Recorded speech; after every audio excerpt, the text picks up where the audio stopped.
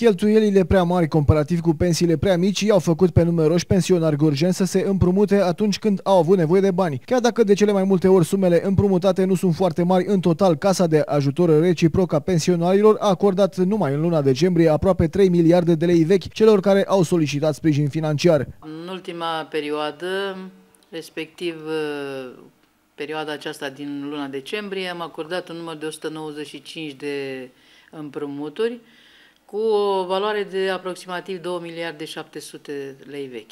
O parte dintre cei care s-au adresat conducerii casei de ajutor reciproc a pensionarilor au văzut împrumutul ca pe singura soluție. Unii dintre ei s-au împrumutat pentru a putea cumpăra cele necesare mesei de sărbători. Pot să vă spun că o mică parte au solicitat împrumuturi pentru sărbătorile apropiate, Pensionarii s-au împrumutat și pentru a cumpăra lemne de foc sau pentru a putea achita facturile la întreținere. De asemenea, o parte dintre ei au făcut împrumut atunci când au fost nevoiți să se interneze în spital și nu aveau bani pentru a se trata.